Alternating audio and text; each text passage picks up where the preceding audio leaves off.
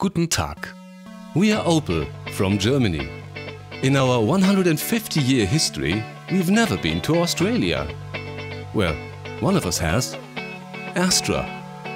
It missed Australia so much, it just had to come back. And this time, it's bringing with it the rest of the family. See you soon. Opel. Wir leben Autos.